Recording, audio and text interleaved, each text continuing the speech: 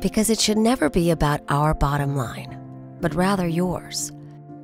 Because it should never be about mere transactions, but rather relationships. Because it should never be about expedience, but rather education. Because it should never be about one size fits all solutions, but rather your solution. Because it should never be about nickel and diming you to death, but rather moving you forward in life. Because it should always be about you.